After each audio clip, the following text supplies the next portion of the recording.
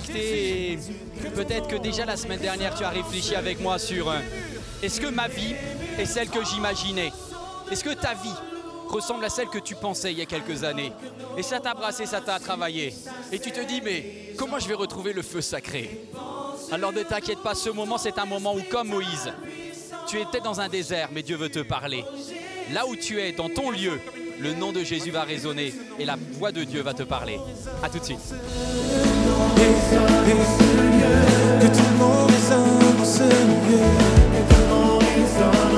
Face à la maladie, je veux proclamer que ce nom résonne. Que ton nom résonne. Jésus, Jésus, Jésus, que ton nom résonne.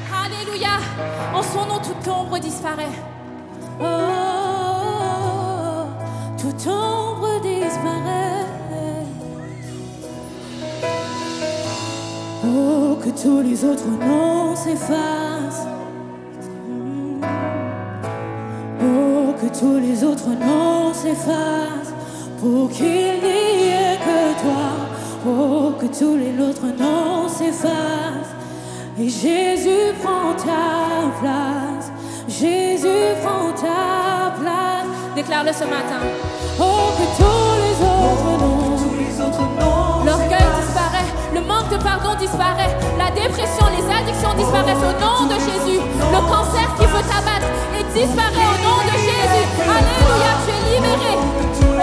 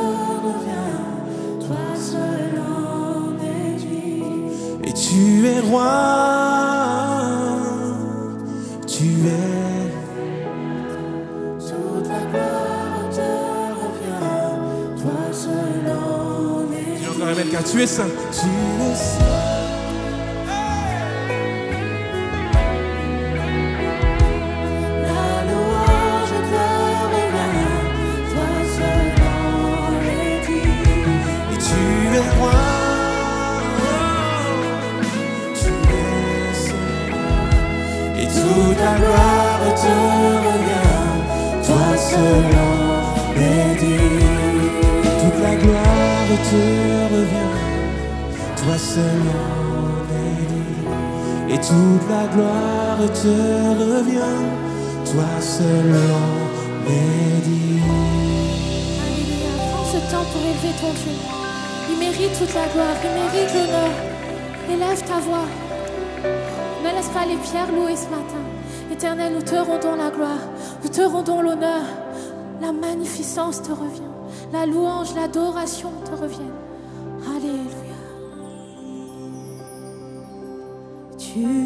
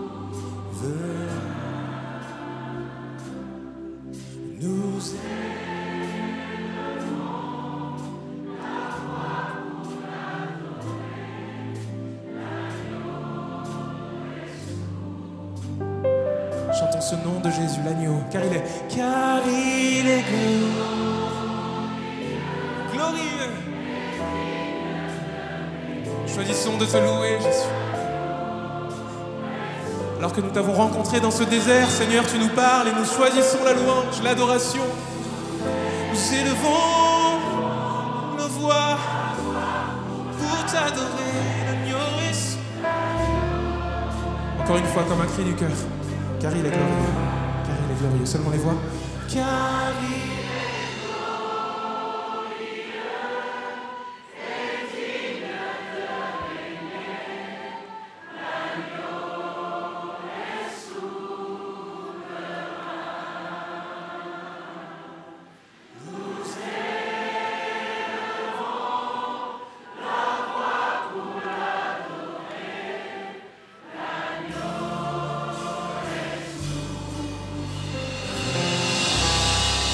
tu es souverain. Oui, tu es merveilleux. Tu es l'agneau de Dieu, immolé pour nos péchés. Nous te louons et nous t'adorons pour cela, Seigneur. Est-ce qu'on peut acclamer le nom de Jésus ensemble? Célébrons le nom de Jésus. Le plus haut de tous les noms, le plus grand de tous les noms, le plus puissant de tous les noms. Louange à toi, Jésus. Louange à toi, Jésus.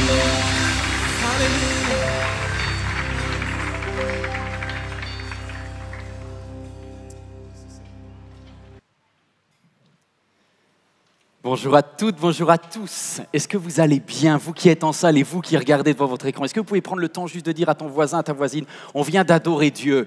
On croit que Dieu est là, mais je vois Dieu en toi. C'est important parce que comment vous pouvez aimer Dieu que vous ne voyez pas physiquement et ne pas aimer votre prochain, toi que je te vois derrière ton écran, mais on se voit. Euh, je vous ai posé une question déjà il y a quelques jours et peut-être vous avez commencé à travailler, ça vous a brassé à l'intérieur. Est-ce que ma vie est celle que j'imaginais il y a quelques années? La vie que je vis aujourd'hui, est-ce qu'elle correspond à mes aspirations de quand j'étais plus jeune? Et je me rappelle le moment où, ça m'a percuté, j'étais sur le, le rooftop de l'espace MLK et je parlais avec euh, un animateur radio qui a eu un, très très très très grand succès depuis euh, quelques années et qui était là de passage à MLK. Il a, un podcast qui est à la fois pour les, personnes qui croient en Dieu, qui sont chrétiens, mais qui est beaucoup plus suivi par des personnes qui n'ont pas du tout de, croyance. Et c'est très très intéressant. C'est un, c'est un, un service extrêmement difficile. Ça demande de l'intelligence, de la finesse, de l'ouverture. Ça demande à aimer les gens. Bref. Et cet animateur radio, on est, installé, il fait beau, on est tranquille et on parle cœur à cœur. Et puis il me dit ceci, et ça m'a marqué. Il me dit, tu sais, Yvan, euh, je vais arrêter mon podcast. Je dis, t'es fou, quoi. T'es, au sommet, ça, ça cartonne. C'est, dingue. Et il me dit, ouais, j'ai bien réfléchi avant. Il me dit, voilà pourquoi je vais arrêter. Parce que je suis en train de compte que j'ai perdu le feu sacré. Le feu sacré, c'est, l'enthousiasme, c'est la passion, c'est ce qui te motive pour faire les choses. Et il dit, et tous les matins, j'ai l'impression de, de mentir si moi-même, j'ai pas ce feu sacré. Qu'est-ce que je vais pouvoir apporter aux autres si moi-même je suis vidé? Alors je vais faire une pause, je vais m'arrêter, je vais me ressourcer, je vais retrouver le feu sacré et je recommencerai quand je serai prêt. Je trouvais ça d'une humilité et d'une vérité. Et il y a un moment dans notre quotidien, dans notre routine, et je ne parle pas que de personnes qui ont l'impression que peut-être votre travail n'est pas si mal que ça, peut-être vo- votre famille, votre, votre appartement, votre... Je ne sais pas, c'est pas si mal que ça, mais vous voyez quelque chose qui est en train de se, se, se faner en vous. Ça arrive à tout le monde. Ce jour-là, Moïse est en train de marcher dans le désert. Exode 3 nous dit que Moïse était devenu berger, mais berger du troupeau de son beau-père. Il conduisit le troupeau au-delà du désert et il parvint jusqu'à la montagne de Dieu à Horeb. Là, l'ange de l'Éternel lui apparut dans une flamme au milieu d'un buisson. C'est pour ça que je vais parler du feu sacré aujourd'hui. Le feu sacré. Et Moïse aperçut que ce buisson, en fait, était tout embrasé et pourtant, il ne se consumait pas. Il n'y a que Dieu qui a le feu sacré tout le temps, qui est hier, aujourd'hui et éternellement. Tu as besoin du feu sacré, va à la source, à celui qui donne le feu sacré. Et il y a une rencontre pour toi en cet instant avec Dieu. Et Moïse, au verset 3, et c'est ça qui m'intéresse, Moïse se dit alors, je vais faire un détour je vais faire un détour pour aller regarder ce phénomène extraordinaire et voir pourquoi le buisson ne se consume pas. Je ne sais pas quel âge a Moïse. Les, savants disent qu'il a entre 40 et 80 ans. Ça fait une large marge. Mais en gros, ce n'est pas non plus un jeune premier à ce moment-là. Je peux vous dire que les sentiers du désert, il les connaît et il a ses habitudes et il a ses routines. Est-ce que vous avez vos habitudes et vos routines? Oui, vous avez les mêmes habitudes et les mêmes routines. Vous prenez toujours la même route pour rentrer chez vous. Vous avez vérifié sur Maps, sur Waze, vous connaissez exactement quel est le chemin le plus court et vous avez vos habitudes. On est rempli d'habitudes et on aime bien les sentiers balisés, les sentiers qu'on connaît.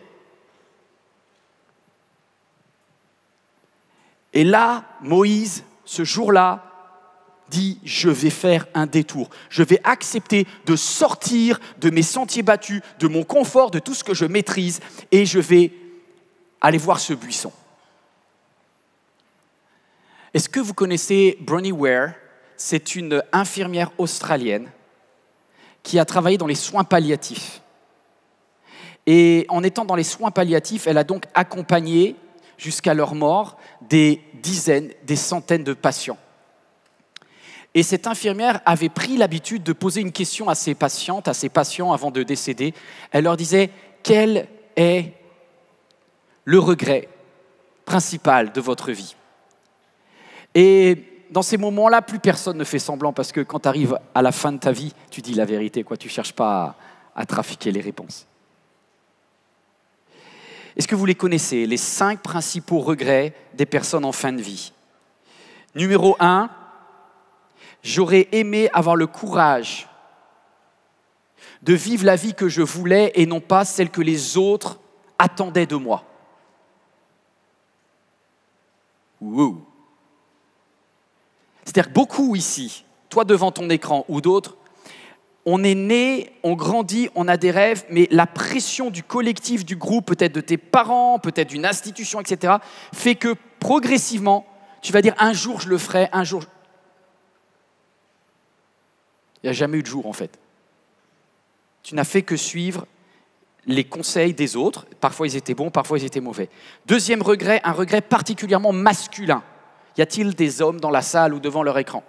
On va être honnête un instant.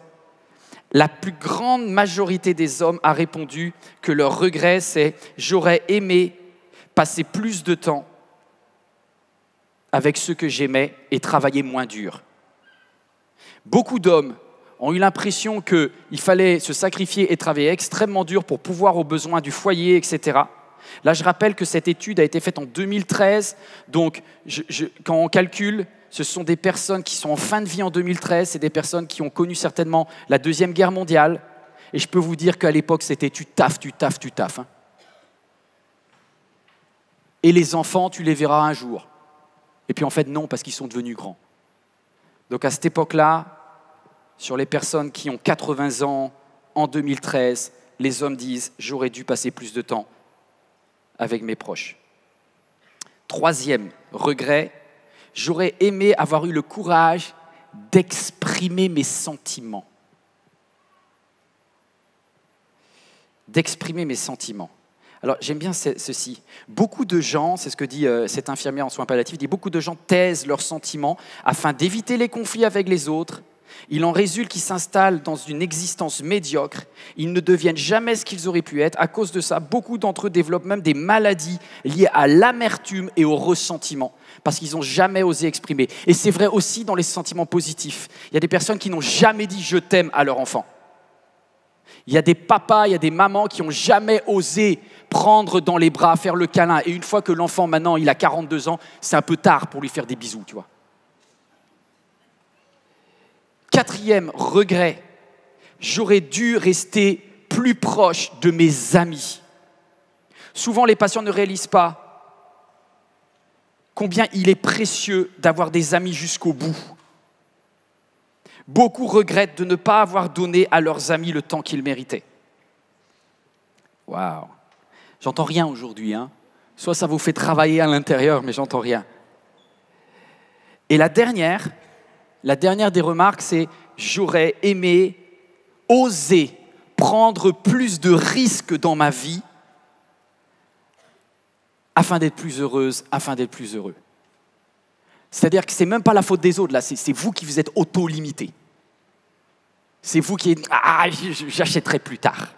Je, suis sur le, j'achète ou j'achète pas maintenant. Je visite la, je fais, je fais la visite, mais j'ose pas faire l'offre de. Beaucoup passent à côté. Moi, je, juste j'y avais pas pensé, mais moi, j'ai vécu dans, une église où un pasteur, un pasteur génial, principal, avait, cet incroyable stress. C'est qu'à chaque fois qu'il arrivait, on visitait des bâtiments pour acheter. Et au moment d'acheter, il me disait Je suis malade. Je dis t'es pas malade. Je suis malade. Avec un autre, euh, on était en charge de, trouver le bâtiment. On a dit C'est bon, on arrête là. Il est tout le temps malade au moment de se décider. Oui, il est malade, mais pas malade réellement. Il est malade de stress. Et à chaque fois, il faisait un refus de saut. Et bilan, ils n'ont jamais acheté. Un an, deux ans. Tu prends l'habitude de faire des refus de saut et c'est foutu. Vous savez, dans les Jeux Olympiques, il y a des, chevaux comme ça.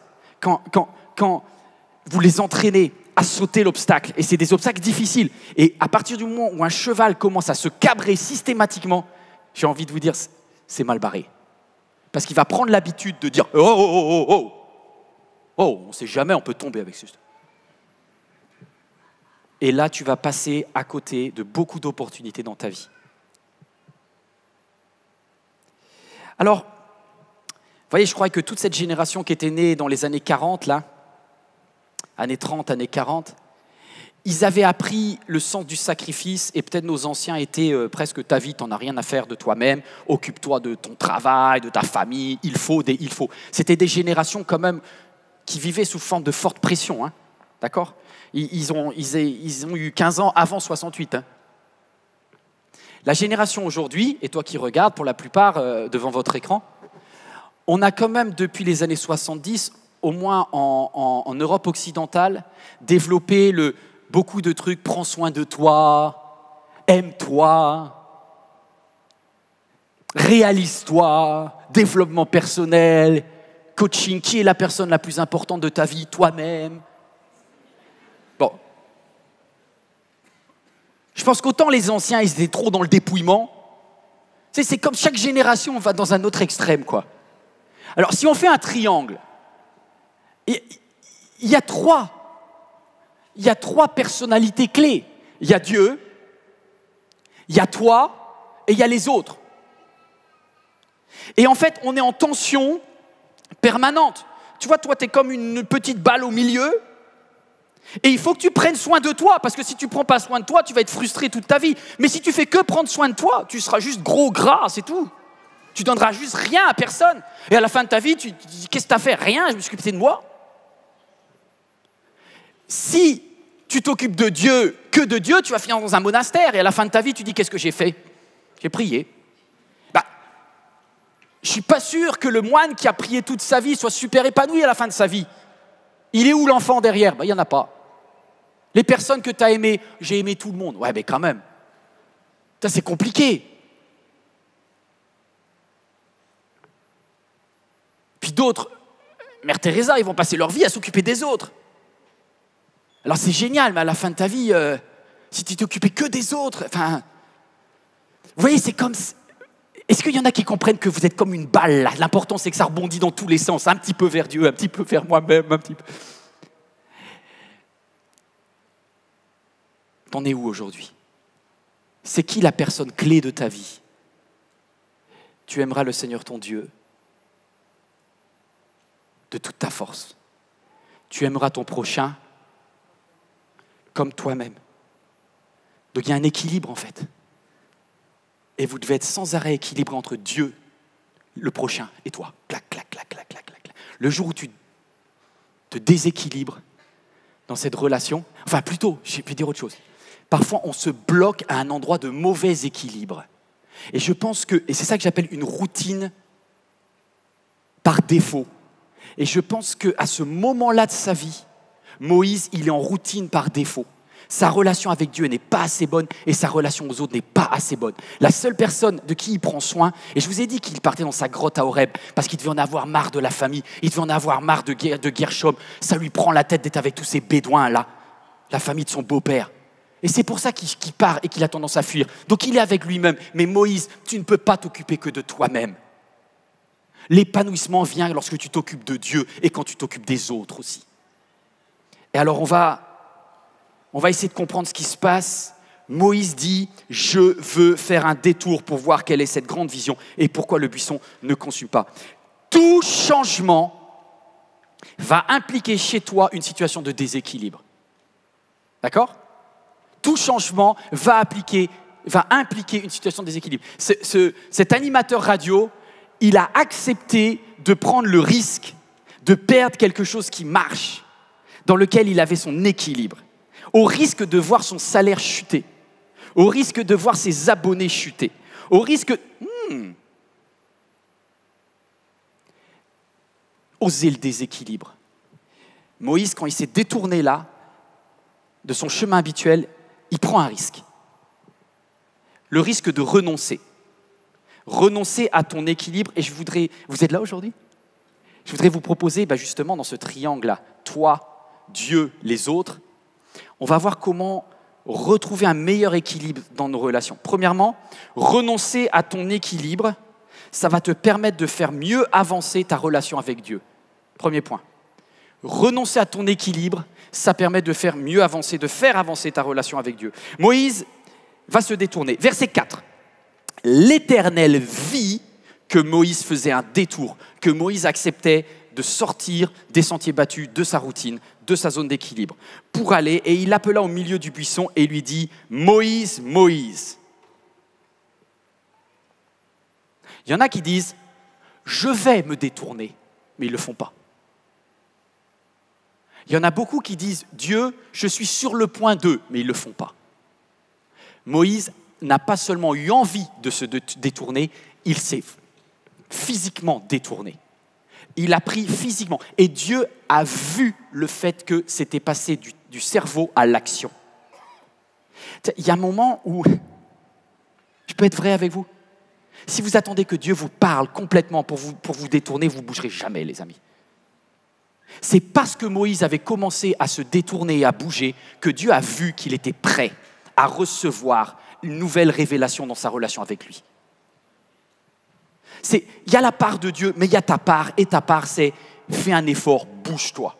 Pour certains, alors ce n'est pas le cas pour vous qui êtes ici ce matin, mais peut-être que si vous avez envie d'entendre Dieu, il va falloir que vous fassiez un pas, que vous vous détourniez. Peut-être ça va falloir que tu, que tu dises, allez, je vais placer une journée, je vais placer une journée pour Dieu, je vais faire l'effort de, je vais, hmm, je, vais je vais retourner peut-être dans mon église, je vais, je vais faire l'effort de regarder cette vidéo. Il y a un moment où Dieu voit que tu fais un effort. Et il lui dit, Moïse, Moïse. OK Me voici, c'est moi. En fait, il n'y avait personne d'autre qui pouvait répondre, Moïse, était seul dans le désert.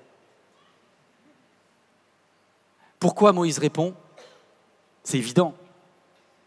Parce qu'il dit, c'est moi. Je viens tel que je suis, je ne vais pas tricher.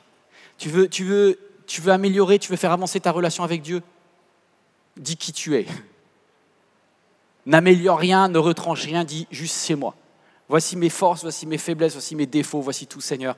Voici j'ai, si je suis Moïse, je sais pas, j'ai 40 ans, je suis fatigué, j'ai pas la vie que je voulais, c'est ça ma vie, mais je viens vers toi. Et Dieu lui dit, N'approche pas d'ici, enlève tes sandales, car le lieu sur lequel tu te tiens est un lieu saint, est un lieu sacré.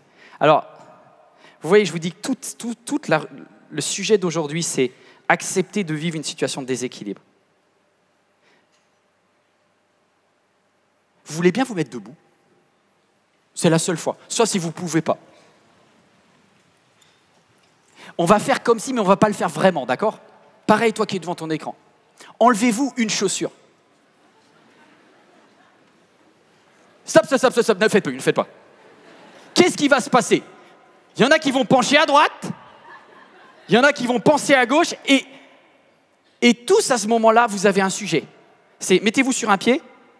Ben, ben, pour enlever, il y a un moment tu es sur un pied. Tu vois? Est-ce que c'est bien d'être sur un pied? Et encore, vous n'avez pas un estrade de 1 mètre en face de vous. hein.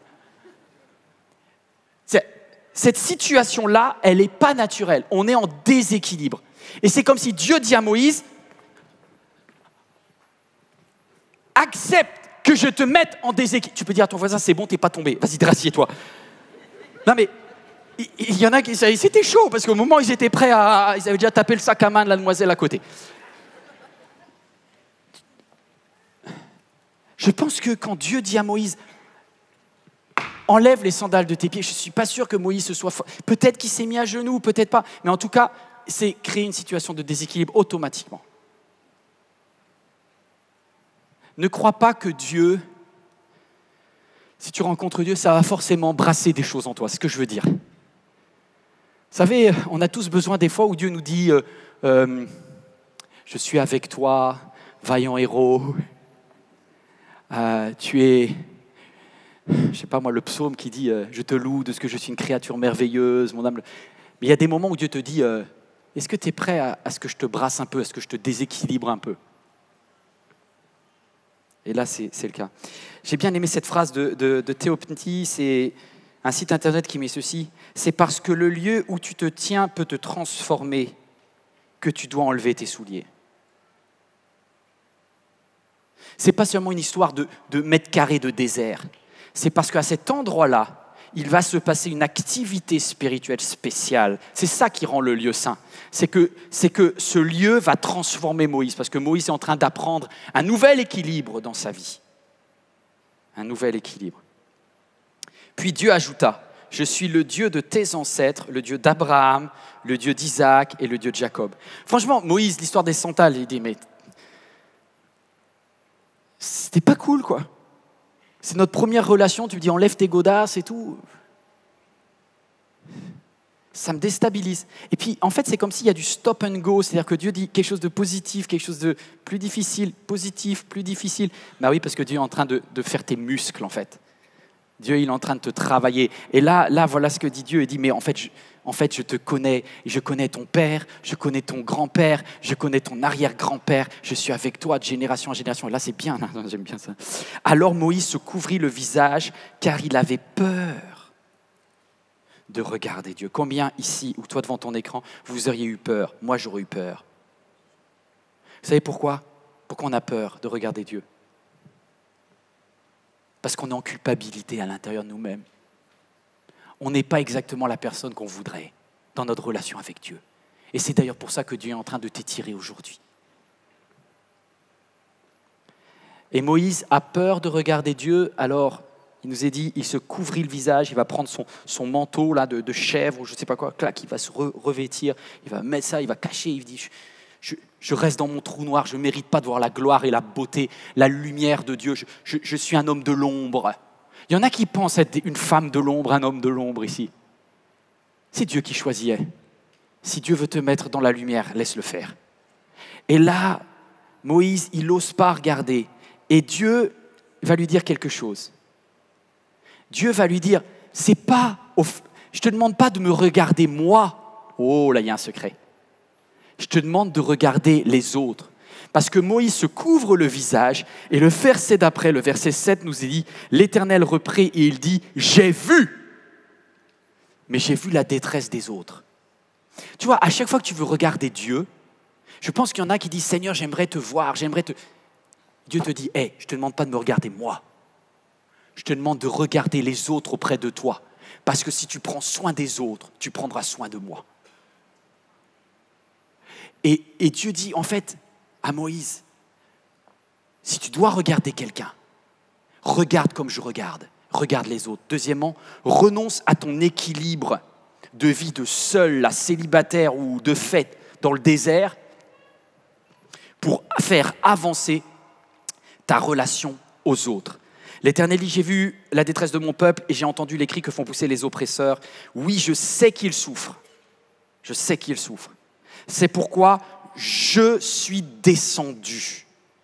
Je suis descendu. Je suis venu. Il y a, eu un déplacement divin.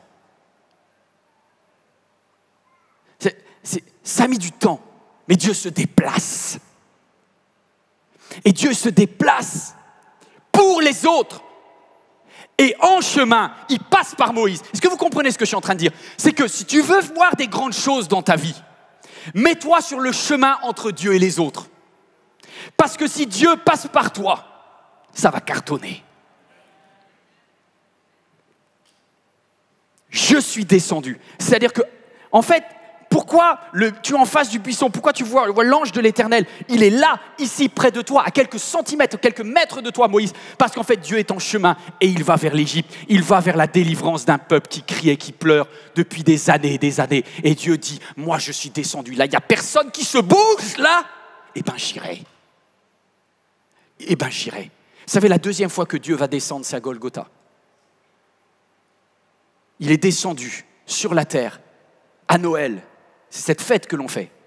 Pour dire, voilà, il est venu pour donner sa vie. Mais là, il est descendu à ce moment-là pour sauver un peuple. Vous savez ce qui va se passer lorsqu'il va revenir sur la terre sous la forme de Jésus? Il ne viendra pas pour sauver un peuple, il viendra pour te sauver toi, quel que soit ton peuple. Mais à ce moment-là, Dieu vient pour un peuple, les Israélites, comme un modèle de ce qui arrivera plus tard, quelques centaines d'années plus tard à Golgotha. On continue. Dieu s'est mis en mouvement. Tu peux joindre le mouvement de Dieu ou pas. Dieu continue, il dit, à présent, les cris des Israélites sont parvenus jusqu'à moi et j'ai vu à quel point les Égyptiens les oppriment. Et c'est là où, où ça part un peu en vrille. Parce que là, Moïse aurait pu dire, Ah, c'est une très bonne initiative, Dieu. Alors vraiment, bah, même personnellement, tu vois, avec, je me rappelle avec Amram, mon père, avec ma, ma mère Yokebed, on a prié pour que tu te bouges. hein. Eh bien, c'est pas trop tôt, mais on apprécie Dieu que tu aies enfin considéré la possibilité de bouger.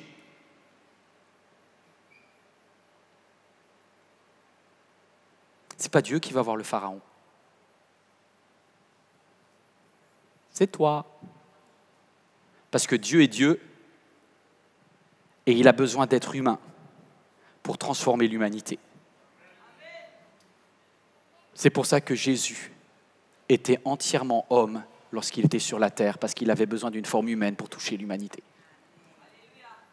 Et là, il est ici, le même Dieu est présent dans ce lieu. Il est présent là où tu es devant ton écran. Et il dit, je cherche un humain, je cherche une femme, je cherche un homme qui a un cœur comme mon cœur, qui entend les cris que j'entends, qui entend les pleurs que j'entends, qui est qui va pas accepter l'oppression encore plus longtemps. Je ne sais pas quel type d'oppression, mais eh, tu sais, dis à ton voisin, tu as un ministère, mais tu t'en rends même pas compte. Tu as un service à accomplir, tu as quelque chose à faire. Je ne suis pas en train de parler que tu vas partir à l'autre bout de la terre, faire un truc de... Non, non, mais est-ce que tu as un prochain qui souffre? Il suffit qu'il y ait un seul, une seule personne dans ton ra- ton entourage proche qui vit une oppression et qui pleure devant Dieu pour que Dieu dise Je vais la missionner. Et Dieu n'a personne de plus proche que toi pour aller voir ton prochain. C'est peut-être un enfant, c'est peut-être une tata, c'est peut-être le patron. Il est pénible, il est imbuvable, il crie sur tout le monde, mais il pleure. Parce que tu sais pas, mais il a été diagnostiqué avec un cancer, il a dit à personne. Et toi, quand tu vas être à la machine à café, tu as la possibilité d'être l'envoyé de Dieu fa- face à ton pharaon, à toi. Et c'est, dans des petites choses, mais tu, tu vois, toi tu dis, non, mais c'est, c'est trop simple, c'est pas les... Pour Moïse, c'était une histoire de le pharaon, il le connaît, hein C'est le mec qui l'avait chassé. Il était dans la famille du pharaon avant, hein Théoriquement, c'était papy. Vous savez que Pharaon, c'était papy quand même. Il était fils de la fille du Pharaon. Ma mission, c'est papy. Ah bon? Toi, moi, j'aurais voulu les jeunes, moi, mais bon, moi, si tu veux voir papy, on va faire les papys. Du coup, la seule question que tu vas te poser, c'est pour qui, Seigneur? Quand tu vas perdre ton équilibre dans ta relation aux autres, c'est parce que tu vas dire, Seigneur, pour qui? Donne-moi de voir comme tu vois, donne-moi d'entendre comme tu entends, révèle-moi qui. Révèle-moi qui. Écoute le cœur de Dieu. Il te dira qui souffre, parce qu'il y en a qui souffrent et ça ne se voit pas. Vous avez déjà vu les coureurs du Tour de France? Quand ils font des contre-la-montre par équipe. Je ne sais pas s'il y a des images ou pas, mais quand les coureurs du Tour de France veulent gagner de la vitesse, ils ont besoin d'un phénomène physique qui s'appelle le phénomène d'aspiration.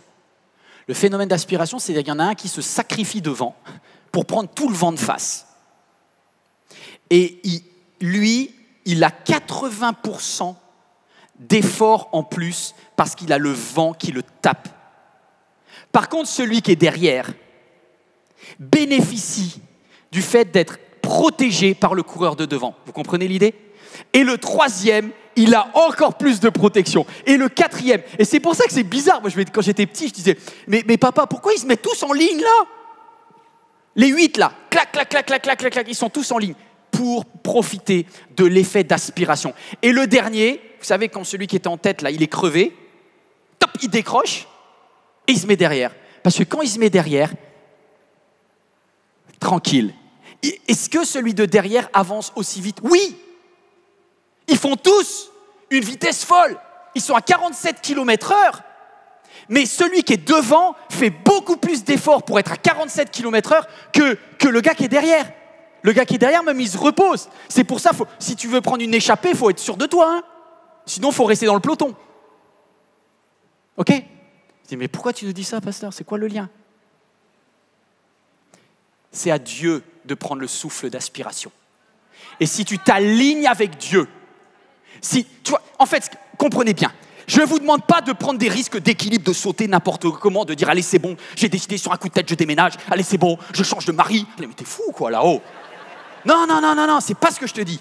Je te dis de, dire regarde où Dieu va. Regarde qui Dieu aime.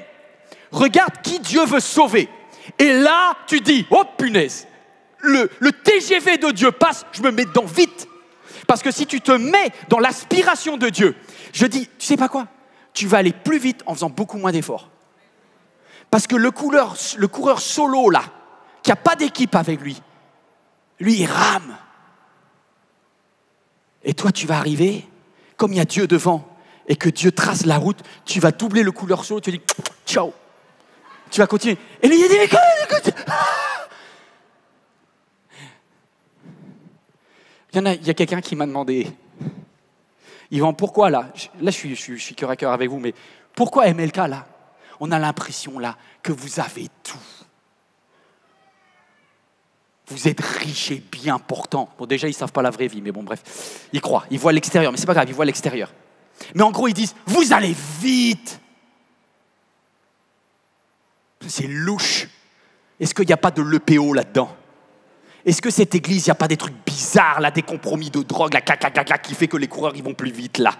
Parce que nous, la petite église, la machin, on galère, il y a des embrouilles avec les anciens et le pasteur et tout ça. Et alors qu'on prie, on fait des jeûnes, on fait de la prière, ça avance pas.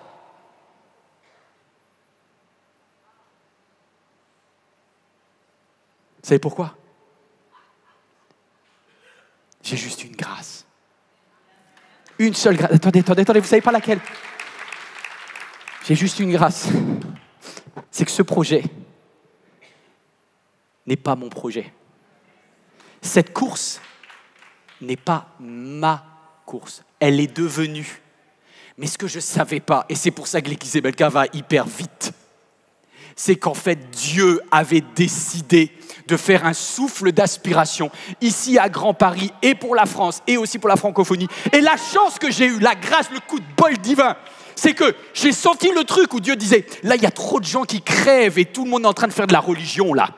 Il y a trop de gens qui pleurent et on est obligé de leur dire faut que tu chantes le cantique 242 sinon tu es exclu de l'église. Et du coup, et du coup, il y avait trop de gens partout. Et Dieu dit moi je veux juste une église qui aime les gens et qui entend les cris de ceux qui crient, qui entend les pleurs de ceux qui pleurent. Et si jamais tu y vas, et, et mes amis, je vais vous dire la vérité, je ne suis absolument ni plus saint, ni plus spirituel, ni plus consacré qu'aucun autre pasteur de France. J'ai peut-être même plus de défauts et plus de péchés. Mais, mais, j'ai devant moi un coureur.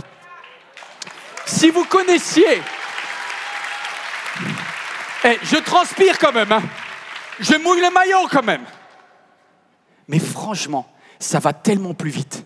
Parce que quand je donne un coup de pédale, le patron devant moi, il me dit Yvan, je te demande juste de rester. Stack, colle à moi, colle à moi, colle à moi. Tant que le Saint-Esprit est devant, t'es es juste en train de bénéficier de son aspiration. Et moi, je vois le vent là qui fait.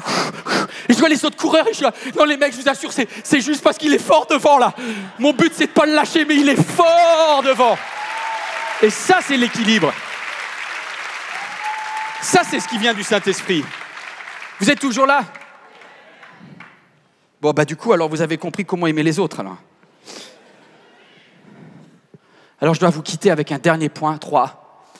Il va falloir que, toi, tu renonces à ton équilibre. Le premier point, c'était renonce à ton équilibre dans ta vie routinière par rapport à la religion et laisse Dieu te bousculer. Le deuxième point, c'est arrête de t'occuper de toi-même dans ton désert et sois sensible aux besoins des autres. Il y a une aspiration de Dieu qui passe, va dedans, profites-en et trace ta route. Troisième point, et ça, le courir, ça m'a. J'ai perdu du souffle rien qu'à vous le raconter, dis donc. Mais j'y mets tout mon cœur, je vous dis. Troisième point, renonce à ton équilibre dans ta relation à toi-même. Renonce à ton équilibre dans ta relation à toi-même, c'est juste les versets d'après. Verset 10, Dieu dit à Moïse, puisque tu as entendu toi aussi apparemment le problème des autres, et que tu es sensible à cette cause, et ben maintenant tu te bouges et lui dis va, je t'envoie vers le pharaon pour que tu les fasses sortir d'Égypte. Ouais, super. Et là, en fait, toi ça te parle pas, mais Moïse, Dieu lui dit ok, t'es prêt, t'es chaud là, on va où? On va voir le pharaon. Eh non, pas lui. Lui, il m'a viré, Dieu. Attends, attends, attends, attends, attends. Attends, Dieu, je pense que tu as mis du temps à entendre le cri des Israélites et tu n'as pas compris que moi, le pharaon, là, il m'a jeté. C'est la dernière personne au monde que Moïse a envie de rencontrer. Parfois, pour aller prendre soin des autres, il va falloir que tu ailles bien au-delà de tes phobies.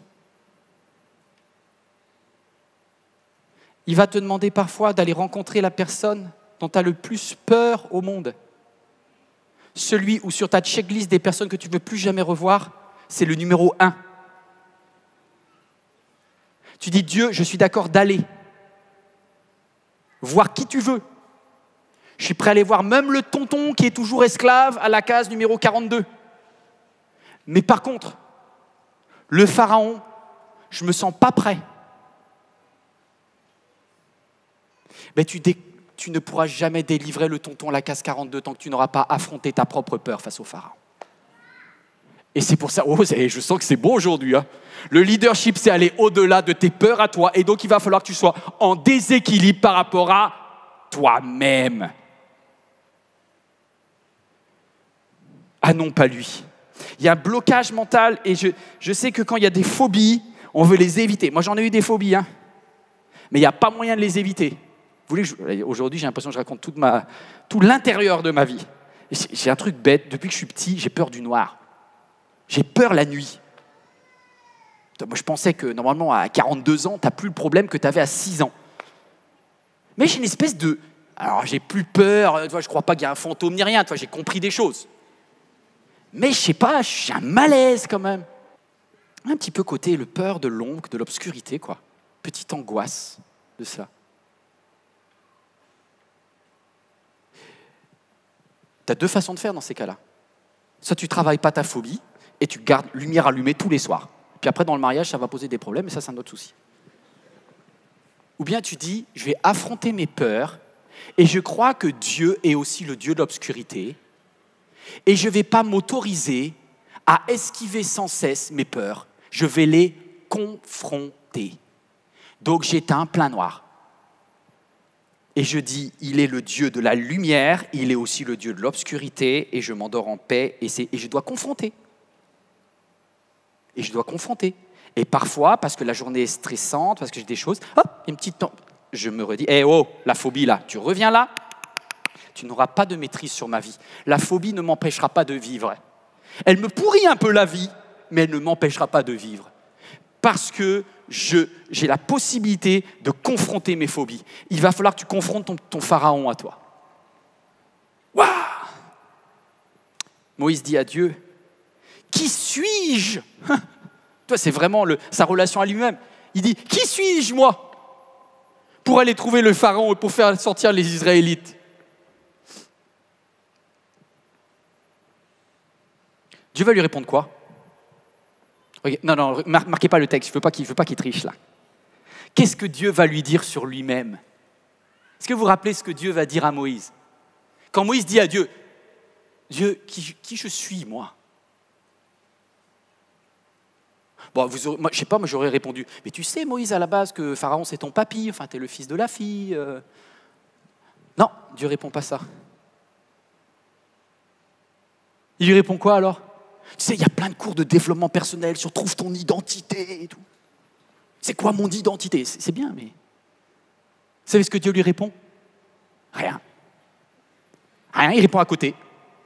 Je trouve que Dieu a une fâcheuse tendance à répondre à côté dans des questions vraiment importantes pour nous. Et Dieu dit Non, je ne te répondrai pas. Par contre, je vais te dire une chose. Je serai avec toi. Qui suis-je? On s'en fout de qui tu es. L'important, c'est que tel que tu es, quand je suis avec toi, oh, j'ai comme quelque chose qui vient du Saint-Esprit pour quelqu'un. Si tu, au lieu de te poser des questions sur qui tu es, quels sont, est-ce que Dieu est avec toi? Si Dieu est avec toi, si Dieu est avec toi, non, vous savez pas quoi, je ne vais pas finir la phrase, comme ça je vais, obliger votre foi à être musclée. Si Dieu est avec toi et tu dis la suite. Tu dis la suite, je ne sais pas, tu, tu, tu dis pour toi.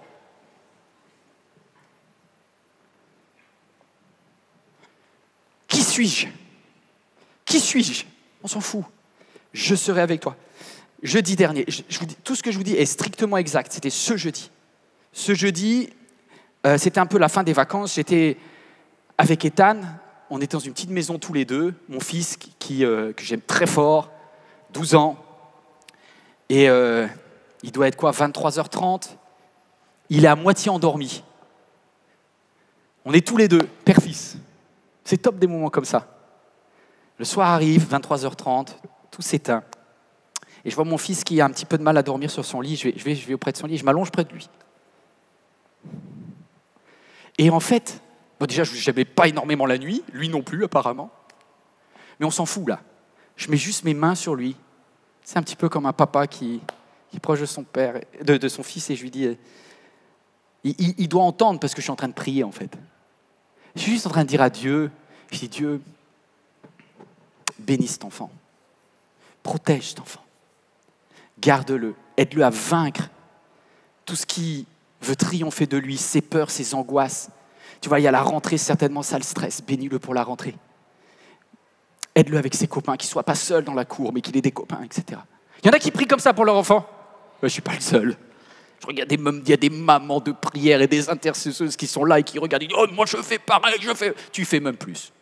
Il n'y a pas de discussion. Je suis à côté de mon fils. Je prie. Et là, en fait, c'est comme si je partageais à Dieu à la fois mon amour et mon stress. C'est la prière, des fois c'est bizarre. Hein. C'est pas que de la foi. Hein. Je partage mon amour et mon stress, je, prie pour mon fils.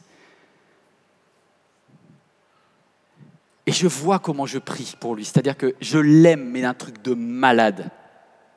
Je veux tellement que mon fils ait une belle vie. Je veux tellement le meilleur pour lui.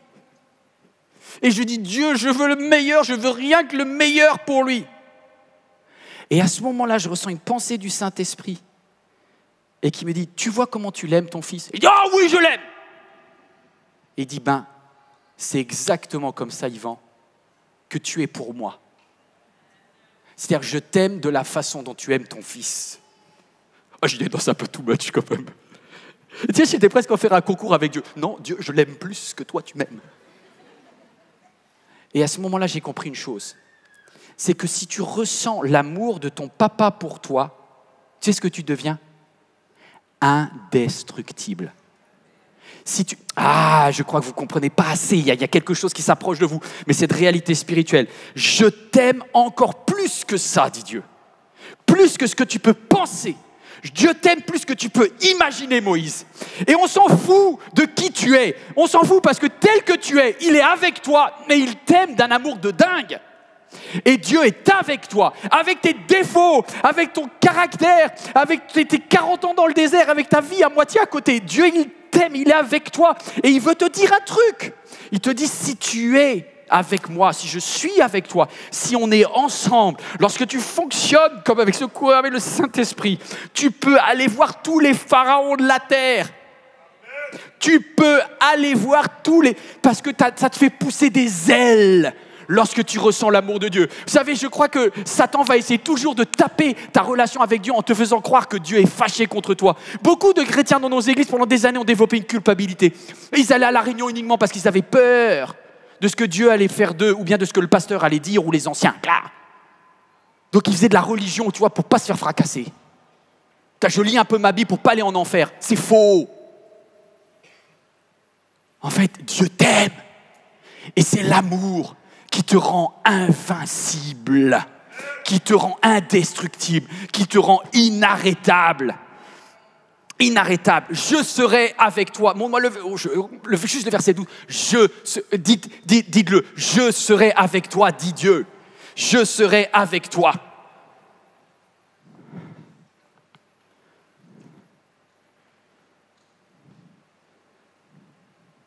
On peut faire un truc de fou là? Si quelqu'un croit ça, il va dire alors je serai inarrêtable. Est-ce que quelqu'un veut juste dire ça? Il y en a qui ne croient pas. Ceux qui y croient là, vous avez le droit de crier je suis inarrêtable, inarrêtable. Lorsque tu comprends que Dieu est avec toi, tu es inarrêtable. Tu peux aller voir les pires personnes dans l'entreprise et tu les confrontes. Lorsque tu sens que Dieu est avec toi, tu vas à l'hôpital. Et tu vas à l'hôpital différemment. C'est le même hôpital, c'est les mêmes cachets, mais tu es de toute façon inarrêtable parce que si l'Éternel est avec toi, qui sera contre toi? Waouh, je serai avec toi. Et Dieu, et je dois se terminer parce que le temps a passé. Et Dieu dit, oh c'est bon. Et Dieu dit, voici le signe. Parce qu'il y a un moment où on se dit, oh, est-ce que j'ai inventé des voix dans ma tête et tout? Et Dieu dit, non, à Moïse, je te donne juste une un signe, que tu reconnaîtras que c'est moi qui t'ai envoyé. Quand tu auras fait sortir le peuple, quand tu auras pris soin des autres, d'accord? Quand tu auras pris soin des autres, quand tu auras pris soin du prochain qui est à côté de toi et qui crie, alors je vais te dire ce qui va se passer. Alléluia. Vous m'adorerez sur cette montagne-ci. C'est comme si Dieu dit, tu vas pouvoir amener les autres aussi loin que tu es allé toi-même. Et on sera ensemble. Dieu, toi et les autres dans un parfait équilibre. Vous savez ce que Moïse va recevoir sur cette montagne? Alléluia Ce message, il est fou. Le message que Moïse a reçu, il est fou. Parce que personne n'avait trouvé ça. Il va écrire sur cette montagne quelque chose avec des lettres divines. Enfin, au début, c'est Dieu même qui va écrire, puis après, il va recopier. Tu aimeras le Seigneur ton Dieu et ton prochain comme toi-même. C'est à Horeb que Dieu, écoutez, ce, message est tellement important, va comprendre que le triangle clé, c'est tu aimeras le Seigneur ton Dieu et ton prochain comme toi-même. Si tu aimes Dieu, tu aimes ton prochain, tu t'aimes toi-même, pas, pas, pas, pas, inarrêtable. Et ça, c'était, c'est la révélation de Dieu à Moïse. D'ailleurs, c'est tellement important. Conclusion. On va juste me décaler pour vous dire quelque chose. Lorsqu'il est inarrêtable, Moïse va vers le Pharaon parce qu'il aime les gens. C'est-à-dire il a résolu la question du pour qui. La raison du pour qui il va. Il va. Vous, allez bien, vous voulez bien que je vous donne une dernière illustration Parce que ça peut parler à quelqu'un. J'ai une amie proche qui se reconnaîtra, qui doit déménager. Elle doit déménager pour venir servir ici physiquement à MLK. Et cette personne-là a une belle maison dans le sud, mais depuis qu'elle a décidé de déménager, c'est comme si l'escadrille de tous les problèmes de la terre lui sont tombés dessus. Pas d'acheteur pour, pour la maison qu'elle doit vendre. Des misères pour la maison qu'elle doit acheter. La banque. Même moi, j'ai dû y mettre mouiller la chemise, dire mais c'est pas possible, c'est quoi ce truc-là? Tout, tout lui tombe dessus. Des vieilles embrouilles d'il y a X années qui tombent maintenant financièrement toutes les galères de la terre. Est-ce que je parle à quelqu'un? Alors que, que tu as décidé de bouger, c'est comme si au moment de te mettre en marche, de te mettre en chemin, tout se bloque. Tu es sur le point de faire l'action et tout se bloque. Et là, je lui dis, comment tu le vis? Et tu veux que je te dise la vérité, Yvan? Ma question c'est, est-ce que Dieu est là-dedans? Est-ce que c'est pas Dieu qui bloque? Il y a quelqu'un qui a un jour posé cette question-là, non? Lorsque tu es sur le point de prendre une décision courageuse, quand la difficulté est là, que ce soit de la mer qui bouge en dessous de toi, que ce soit le banquier qui t'embête, que ce soit ton ex qui te bouffe la vie, que ce soit tes enfants qui t'arrêtent, que ce soit même un homme de Dieu qui te dissuade. Écoute-moi, écoute ce- cette révélation. Lorsque la peur augmente, tu vas questionner, est-ce que Dieu le veut vraiment? J'arrête tout s'il faut. Et je lui ai posé une seule question. Je lui ai dit, tu une seule question à te poser pour savoir si tu dois déménager ou pas. C'est quoi la question? Si vous avez compris aujourd'hui, vous devez être capable de comprendre quelle est la question que vous vous posiez. À chaque fois que vous êtes sur le point de prendre une décision courageuse dans votre vie qui va vous mettre en déséquilibre, la seule question que vous devez vous poser, c'est pour qui? Pour qui? Et là, je lui ai posé cette question, je lui ai dit, est-ce que tu le fais parce que tu aimes Dieu? Est-ce que tu le fais parce que tu veux servir Dieu? Et elle me dit, oui! J'ai dit, j'ai une deuxième question. Est-ce que le fait de venir à Melka, c'est pour que tu prennes encore plus soin des autres? Elle me dit, oui Je dis, bah alors, il n'y a pas de problème, c'est un grand oui. Parce que tu peux pas... tu- y a, écoutez ce que Jésus dit aux pharisiens. Il y a un moment un pharisien qui dit quel est le commandement, quel est l'ordre que Dieu nous donne? Et Jésus dit il n'y en a qu'un seul. Tu aimeras le Seigneur ton Dieu. Et voici le deuxième qui lui est semblable, tu aimeras ton prochain qu'en toi-même. Celui qui a compris ça a tout compris. À chaque fois que tu as une décision, est-ce que tu dois démarrer dans ces études? Est-ce que tu dois changer de travail? Est-ce que tu dois déménager? Est-ce que tu dois t'investir dans cette église? La seule question que tu as te poser, c'est pour qui tu le fais? Et si tu le fais parce que tu veux aimer Dieu davantage, ou si tu le fais parce que tu veux aimer les autres, alors c'est que tu as un oui de principe. Voilà. Et si jamais Dieu veut pas que tu le fasses, je peux dire que tu le feras pas parce que là tu pourras vraiment pas le faire. Mais ça m'étonnerait. Parce que dans 99,99999% de toute façon, Dieu va voir que ta mentalité est bonne. Et si jamais ce projet ne se fait pas, c'est que Dieu a un meilleur derrière. Point final. Lorsqu'on comprend que aimer Dieu, aimer les autres est le cœur de tout. Regardez cette vidéo, je dois, partir, mais regardez cette vidéo. Elle est tellement belle cette vidéo. C'est un petit peu comme cette petite fille, tu vois, elle est... elle te ressemble, elle me ressemble, elle est plus petite. On a un grand frère, Jésus. Et des fois, j'ai l'impression que Jésus regarde son téléphone portable quand je veux lui parler. Regarde la vidéo.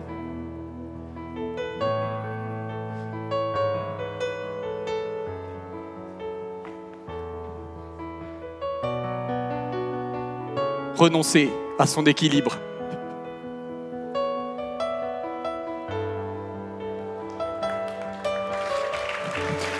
Tu donneras à Jésus, il te le redonnera. Tout ce que tu donneras pour Dieu et pour les autres, au final, ça finira dans ton assiette.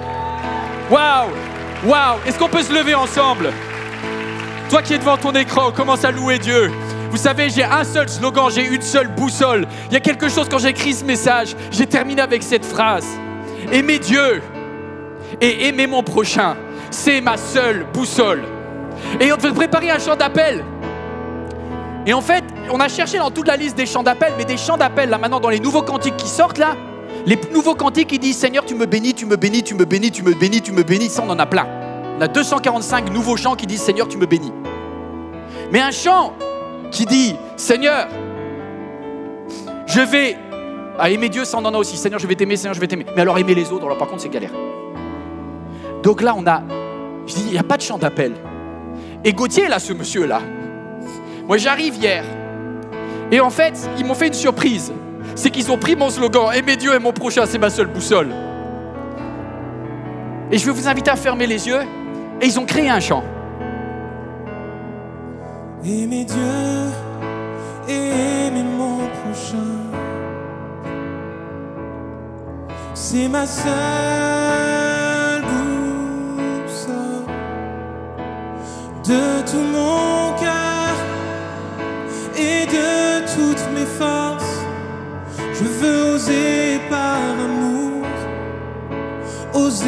par amour. Aimer Dieu et aimer mon prochain. Et c'est ma seule boussole. Oui, de tout mon cœur et de toutes mes forces.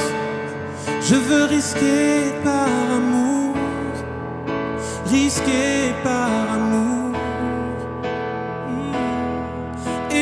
Dieu et aimer mon prochain. Et c'est ma seule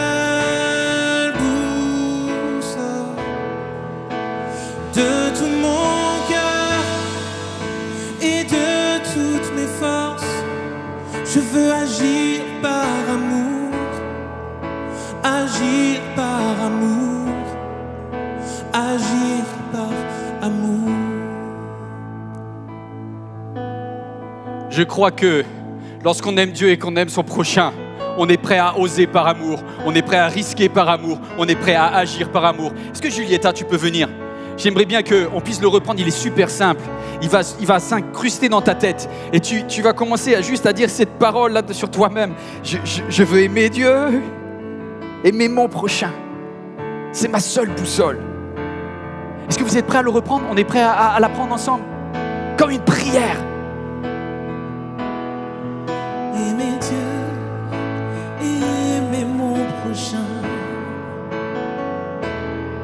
C'est ma seule boussole de tout mon cœur et de toutes mes forces. Je vais oser maintenant, oser par amour. Aimer Dieu et aimer mon prochain.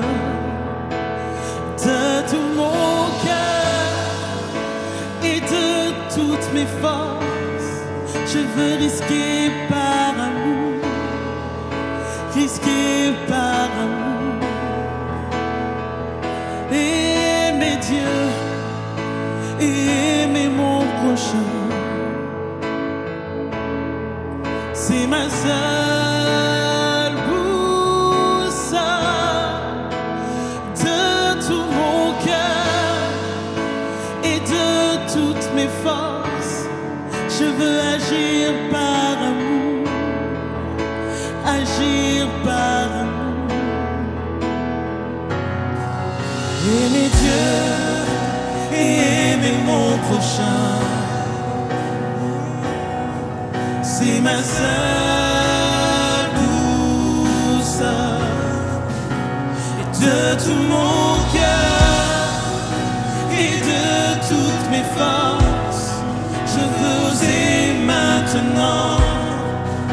Oser maintenant. Tout mon cœur, oui, de tout mon cœur et de toutes mes forces. Je veux risquer maintenant, risquer maintenant. Tout mon cœur, oui, de tout mon cœur et de toutes mes forces. J'agis, j'agis maintenant. J'agis maintenant. J'agis maintenant.